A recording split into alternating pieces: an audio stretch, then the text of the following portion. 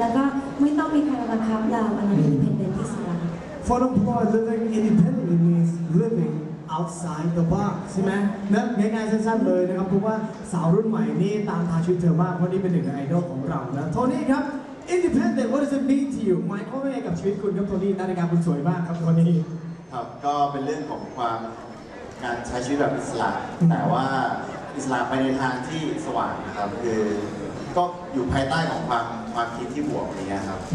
Mm, living positively and of course living outside the box and be as free as you want to be as long is heading to the good direction alright รู้สึกเหมือนตัวเองเป็นนางงามยังไงไม่รู้นะนิดหนึ่งนิดหนึ่งครับต้องมานั่งคิดคำตอบคุณคุณคุณดูดีกันขนาดนี้อะแล้วก็อยากจะให้ดูว่า character ของบริษัท independent เป็นยังไงไม่ต้องไปยุ่งกับใครแล้วมันมืดด้วยมันก็เลยยิ่งแบบ independent Oh, she usually let herself go very late at night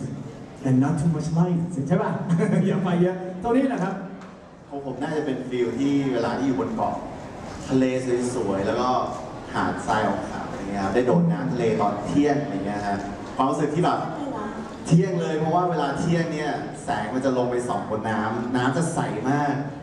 ใช่ครับ นี่คือนี่คือความชอบส่วนตัว ผมรู้สึกว่าเนี่ยปลดปล่อยที่สุดคือกระโดดลงไปแล้วแบบ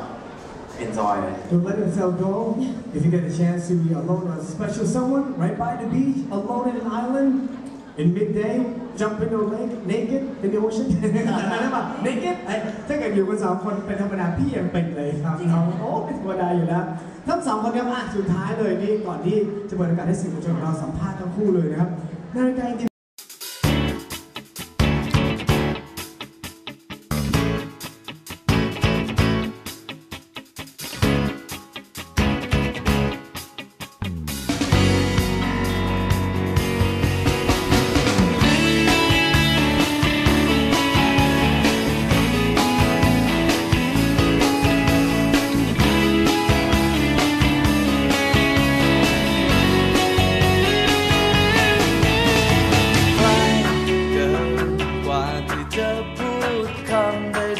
ากไปเหมือนใกล้เกินกว่าจะมองเห็นใคร เมื่อเราใกล้จนอยากจะหยุดหายใจ โอ้เหมือนใกล้